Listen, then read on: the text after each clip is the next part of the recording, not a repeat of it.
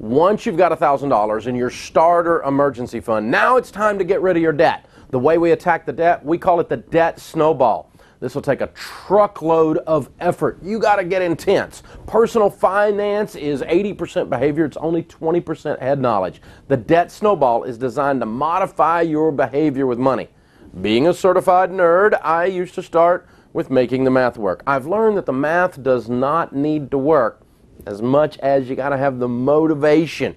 Motivation is more important than math. This is one of those times. In the debt snowball method, what you do is you list all your debts smallest to largest, you pay minimum payments on everything but the little one, and you attack the little one with a vengeance. This is the way you got to do it hey, listen, even those loans from mom and dad or medical debts that have zero interest, I don't care if there's any interest. I, you got to get out of debt. And what we're going to do is knock out the smallest one. Because when you knock out that smallest one, you have this sense of, hey, I won. I knocked it out. I'm killing it. And that's what you got to have. You got to get fired up. And so when you knock off the little one, it's kind of like going on a diet and losing weight. So again, with the debt snowball, what we're going to do is we're going to list the debts smallest to largest, regardless of interest rate.